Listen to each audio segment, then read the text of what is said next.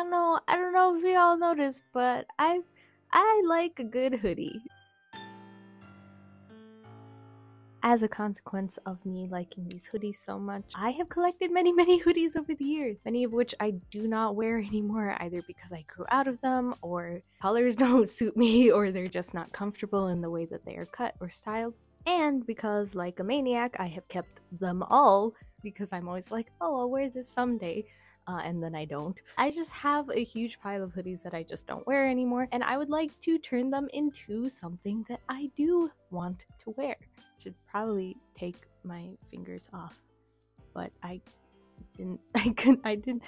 You you could you do. I don't have a knife like prickly alpaca. Okay. Okay. Let me let me take my fingers off. What I've got here is this dinosaur hoodie that I really like wearing. It's from Modakawa. Unfortunately, it came in one size fits all, and I, you know, I'm not a, I'm not a small person, but I am also five feet tall. I, I don't think it's one size fits all universally, but more or less, I do enjoy really wearing this.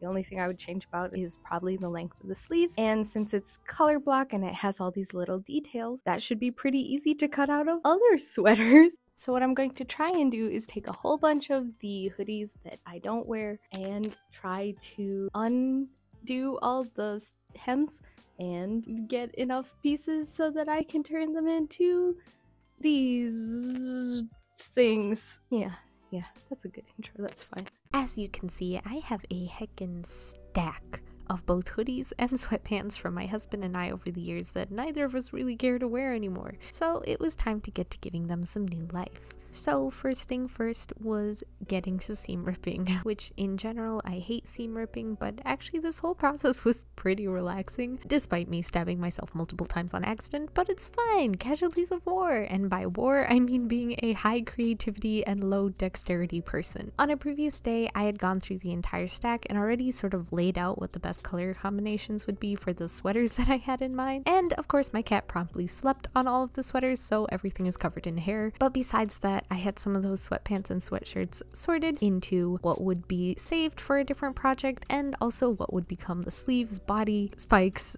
of various hoodies. So I got to seam ripping all the necessary pieces. My original plan for the hoodie that was to make up the sort of body section of the sweater was just to take off the sleeves and crop the hoodie a little shorter, leaving the hood attached so that I wouldn't have to re-sew that mess back on. But because of how the spine spikes attach to the hood and down the back and then and also how the sleeves are much bigger than the original sleeve holes, and because I'm saving the bigger scraps from the project for hopefully future projects to result in as little waste as possible, I just decided to take as much of each of the hoodies apart as possible and hope for the best when sewing it back together. Unfortunately, while I was actively destroying my fingers, and no spoilers here, I was listening to Critical Role episode 33 and 34 of Campaign 3, in fact, which you can see clearly the number of emotions those episodes take me through. I know, I know, I'm very, very behind, but in my defense, life is busy, man. Don't come for me. I'm working on it. And at least I didn't have to wait for a whole week between episode 33 and 34. But maybe I should have because, oh boy, those episodes really took me out. So after hurting myself both physically and emotionally, it was time to start tracing the original Modakawa hoodie out and creating a pattern of sorts. I did modify the pattern a little bit, giving the arms much bigger sleeves and stretching out the body body a little bit more for my own comfort. And anyone who is more precise about making patterns than me, which is pretty much everyone, is probably having an aneurysm about the way I'm doing this. But it's fine, it turns out fine. Nothing goes wrong in this process at all. Actually, the pattern I'm making for this hoodie is relatively forgiving since everything is going to be big and bulky. There's not too much concern about, oh, this won't fit me when it's sewn if I make it a little bit small. Um, you're, yeah, you're pretty safe on the most part. Not too bad at all. Once I had all my pattern pieces made and marked and seam allowances added, it was time to start cutting out the pieces from the chunks of fabric. I managed to get through the biggest pieces of one hoodie, but it was starting to get pretty late, so I decided to call it and continue tomorrow.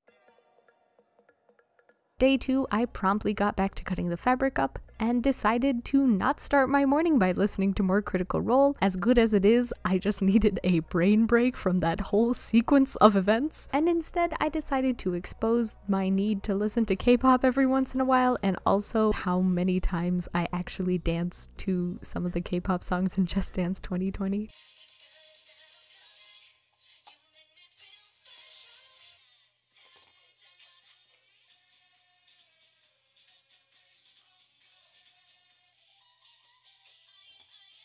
Also, look at this beautiful POV. You watch me, and five minutes later, I ask you why my back hurts. Also, I managed to injure myself again with the rotary cutter because I have the fine motor skills and dexterity of a two year old, so you see band aids magically appear onto my fingers throughout the course of this project. Actually, cutting the pieces was a little bit nerve wracking because I knew I had limited amounts of fabric to work with and also fabric in limited size and shape. The front body pattern piece especially gave me a quite a bit of trouble. I found out that the pattern was just a tiny bit wider than the shoulder pieces on the original hoodie that I was cutting from, and I couldn't adjust where that body pattern needed to go because I would cut into the little graphic that's on the front of the hoodie. And since I wanted to keep that, I instead decided to trim down the pattern a little bit and crossed my fingers that the extra sleeve space would make up for me shaving off that little bit. So I spent the whole morning cutting these fabric pieces and then arranging the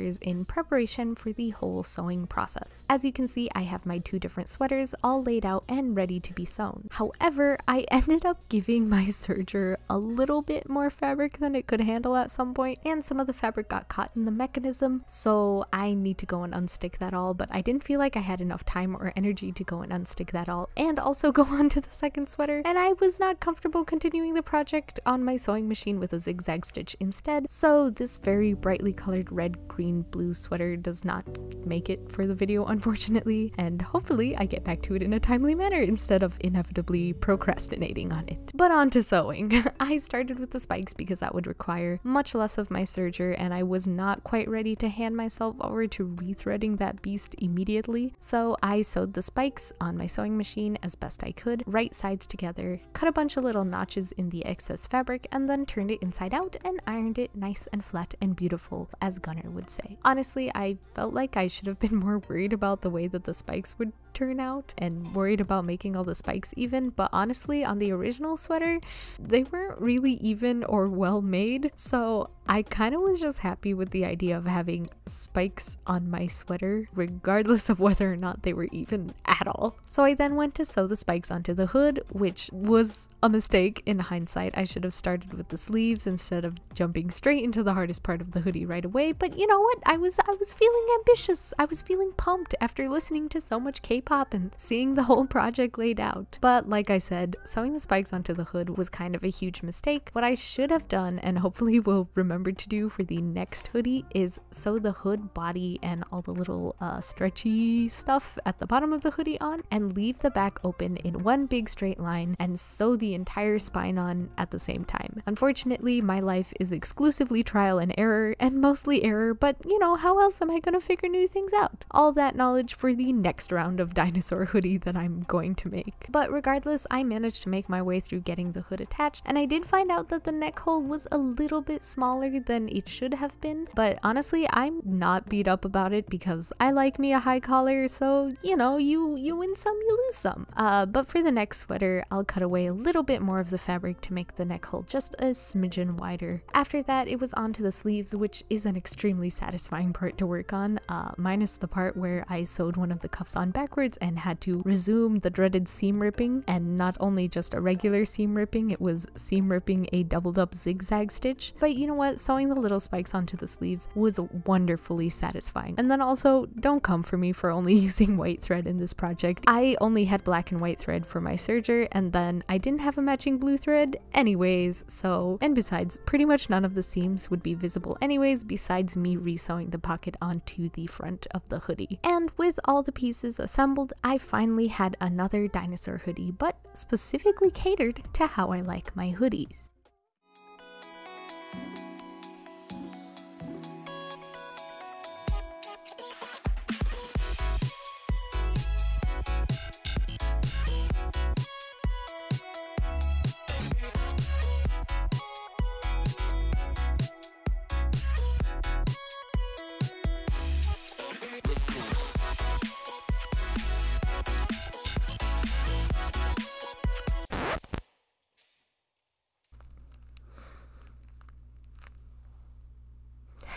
And that's on having a dex of 7 IRL. But if you can ignore this bruise that is forming on my forehead right now, I would like to talk a little bit about the hoodie. I am stoked about how this turned out, and as soon as I get my serger fixed, I am on the next one. But you know, I'm super happy. Instead of having a bunch of hoodies and sweatpants that I don't really, well, that I'm never going to wear, I not only have this super comfortable, I have a really freaking sick, super cool dinosaur hoodie that I'm absolutely going to be wearing all the time. And also at no cost to me besides a little bit of time and blood from my fingers. I have been sitting on this project for quite a while and only just now got around to it, but I was really looking forward to it. And I'm also really into just taking a bunch of my old clothes, stuff that I don't wear, and changing it into stuff that I can and do and will be comfortable wearing. And also not having to go and buy an entirely new wardrobe every time my style changes. And yeah, I, am no Rachel Maksy as much as I would like to be. Just a regular, average little guy making a regular, average little dinosaur hoodie from clothing that I think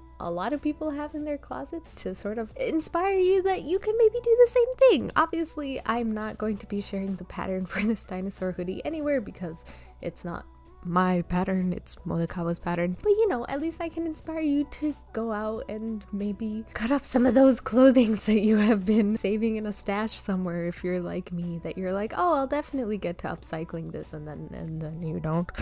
Mm-hmm. but hopefully I can make this whole closet flip thing a series, and I definitely have plans for a ton of future things. While I was filming in the other room, you would not believe the mess that I was trying to avoid filming on the floor. There were just tons of small piles of clothing that I was like, this is going to be one project, this is going to be another project, so I'm really looking forward to getting to that. But yeah, stick around because maybe eventually I'll get to put more of these videos amongst my many, many speed draws. And yeah, go put dinosaur spikes on your hoodies. It's super cool. No nobody cares. I love it. It's great. Um, and I'm going to go put ice on my forehead and nose and my ankle and both of my knees because and just hope and pray that I don't have a bruise because I have things to go to um, and people to see. So um, I hope that a bruise doesn't form, but who knows?